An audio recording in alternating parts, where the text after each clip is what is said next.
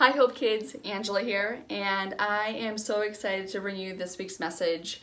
We are going to be digging into our adventure Bibles. If you don't have this Bible at home, any Bible will look great. Um, we're going to be going into the book of Acts. It's towards the end of your Bible. We're going to be reading Acts 17, and we'll be talking about verses 16 through 34. I'm only going to read a small section of that, um, so stick with me here. So Paul is in Athens right now, in as we're reading the story, and he's in Athens talking about the great news of Jesus, and he's talking about God and educating everybody. But before he can do that, before he can start talking and start giving everybody this amazing news, he has to do something first. He has to do some research. Have you guys ever had to do research, Hope Kids? Whether it be a paper, um, a book report that you're writing, maybe a topic that you're researching. Uh, I know I've had to do lots and lots of research on anything. I had to do some research on what I was reading, and so I understood the scripture. And so what that is called is you're getting a different point of view. You're going to get a different perspective, right? Because when you're doing research, you're reading facts, but you're also reading it from someone's point of view or maybe a different perspective. Um, especially if you're reading articles written by someone's, you know, someone's ideas of like, this is what this means, or this is what this says.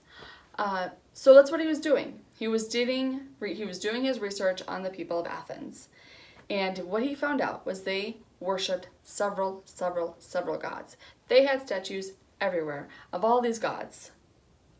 And uh, and he realized the way to talk to them is through this one particular statue. Because it said, to an, let's see if I, I want to say it right, to an unknown God.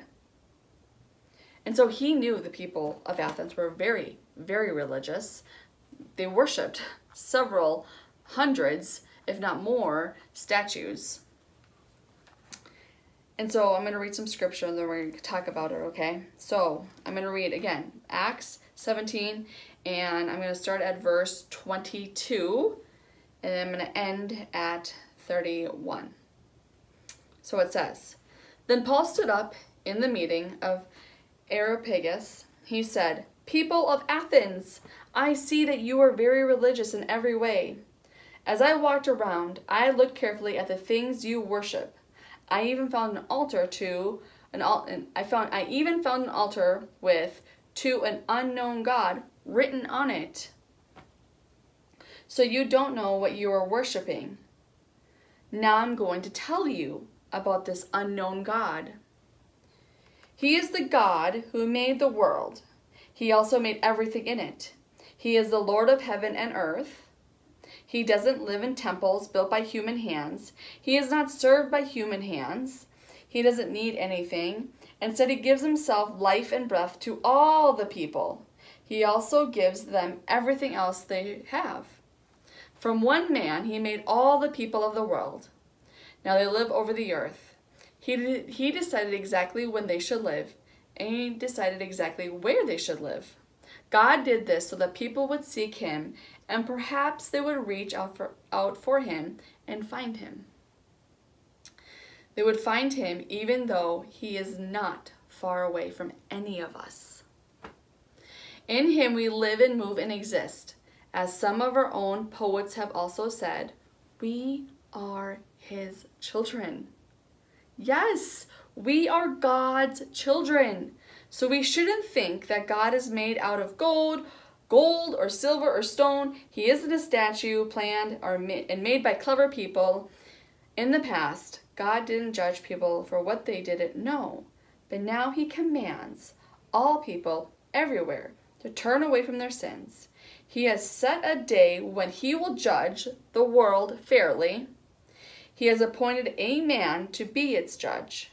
God has proved this to everyone by raising that man from the dead. And of course, he's speaking about Jesus, Hope Kids. And so here he is preaching the amazing news about God to these individuals and he's and he's talking to them on the level they understand because they understand statues and they understand worshiping but now he's saying you should be worshiping this one god one god And how amazing is that? He had to do his research, he had to figure out how to speak to these people of Athens. And he did it, right? And it says in the end, you know, some of the people became followers of Paul and believed in Jesus. Um, and some didn't, right? But it was their choice. But the ones that do believe, he spoke to them because he understood them.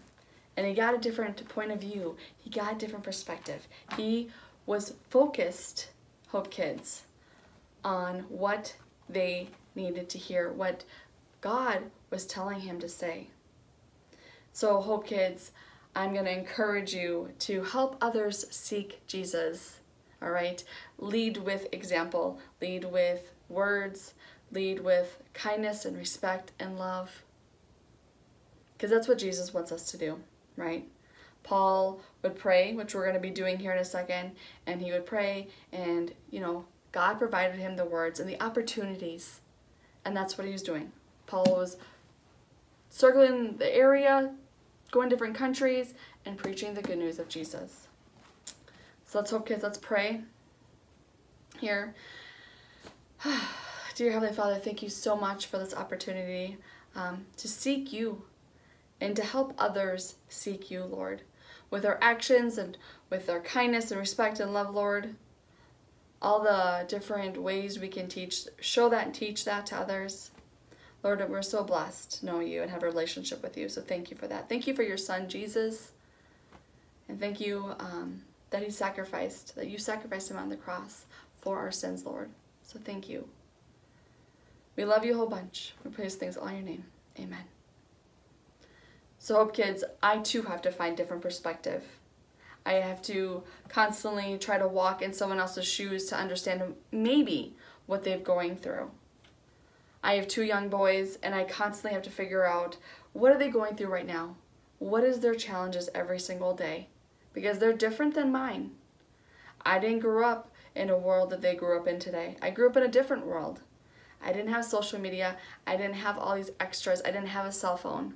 I didn't have all this different pressures of society, of their peers.